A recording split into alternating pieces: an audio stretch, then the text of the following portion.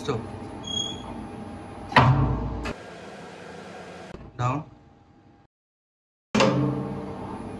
Stop. Hello everyone! Today we embark on a fascinating journey into the heart of elevator technology.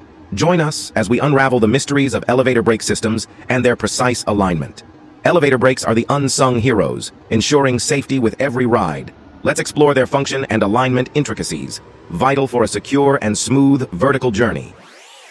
This is the handle, which is used for manually releasing the brake. Before using the handle, you must ensure to turn off the power. Normally, these handles are used for emergency rescue services. Next, we have the brake arms. There are two arms, one on the left side and the other on the right side. Next, compression springs. There are two springs, one on the left side and the other on the right. These springs provide tension to the arms and actuate the brake when the elevator stops. Next, we have the brake shoe and brake liner. There are two of these, one on the left side and the other on the right side. The liner provides grip to hold the elevator when it stops. Next, we have the brake coil. There are two coils, one on the left and the other on the right. These coils are situated inside the brake at both ends. Next, we have the plunger, and there are two of them. One on the left and the other on the right.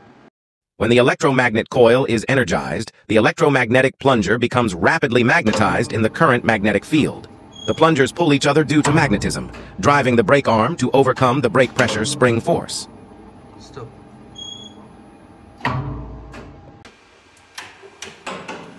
Here, you can observe that one arm moves faster than the other. In this situation, it's essential to check the spring pressure. Ensure that both spring pressures are equal according to the manufacturer's standards. If you encounter this issue, you must remove the brake and clean it properly. Dust particles, seemingly harmless, can accumulate and get stuck in the elevator brake plunger. Over time, this accumulation can interfere with the plunger's movement, affecting its ability to function correctly.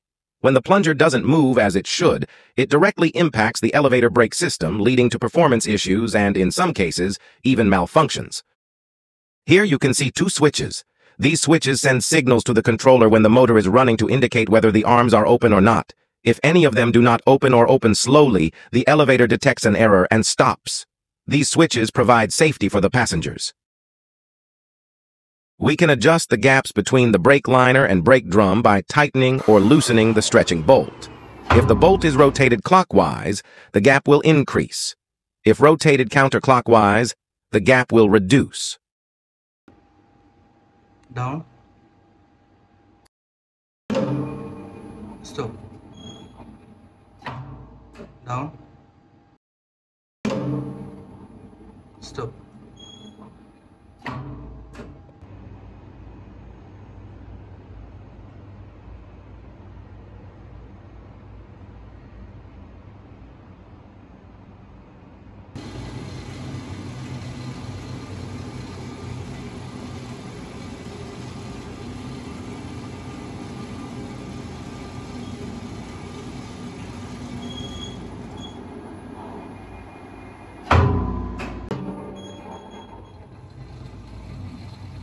Hello, dear viewers.